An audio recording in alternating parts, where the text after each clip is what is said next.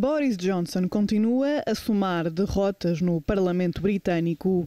Após uma maratona de discussões e votações, a Câmara dos Comuns aprovou, com 327 votos a favor, a proposta BEN, que impede um Brexit sem acordo. Agora, Boris Johnson tem até 19 de outubro para aprovar um novo entendimento no Parlamento ou então solicitar uma prorrogação do divórcio com a União Europeia até 31 de janeiro do próximo ano, algo que também terá de ser aprovado por Bruxelas. A Câmara dos Lordes já se comprometeu a aprovar a proposta de lei até ao final de sexta-feira, fazendo-a passar por todas as etapas do Parlamento Britânico antes de este ser suspenso.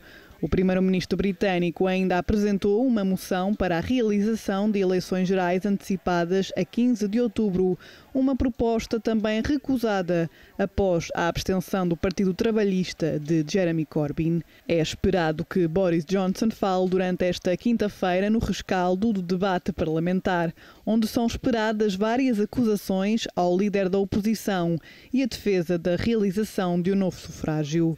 Dias difíceis para o primeiro-ministro, que esta quinta-feira viu seu irmão Joe Johnson pedir a demissão do executivo, dando como justificação o conflito entre a lealdade familiar e o interesse nacional.